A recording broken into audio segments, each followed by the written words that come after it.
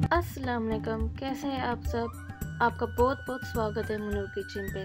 आज हम बनाएँगे ठंडी ठंडी मैंगो लस्सी। चलिए शुरू करते हैं। अभी आपको डालना है आधा डब्बा मैंगो पल्प का ब्लेंडर के अंदर।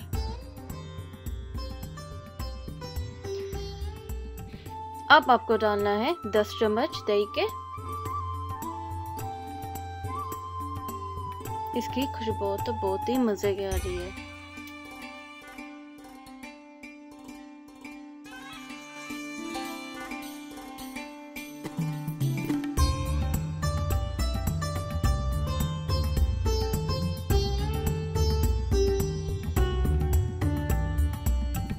अभी आपको डालना है 15 मिल दूध का।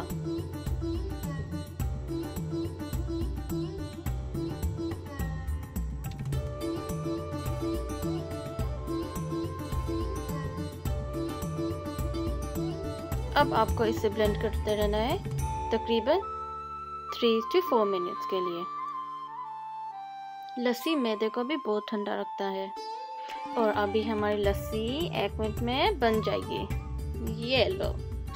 अब आपकी लस्सी बन गई है। अब इसको डालना है कप के अंदर।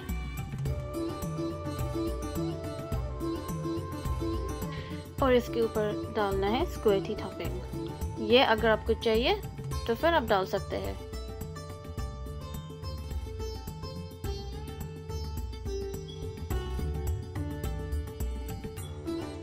अब आपको डालने हैं पिस्ताशियोज इसके साथ मैंगो लस्सी का जायका बहुत ही मज़े का हो जाता है। और साथ में क्रश्ड आलमंड्स ये लो, अब आपका मैंगो लस्सी तैयार हो गया है। बहुत ही मज़े का था। मैंने तो अपना पी लिया है। बहुत ही मज़े का बना हुआ था। अभी आपकी बारी है, आपको बनाना है और मुझे बताना है कि आपको कैसे लगा।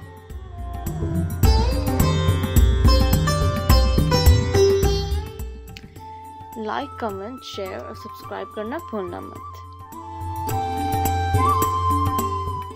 चलिए मिलते हैं अगली बार। अल्लाह हाफिज़।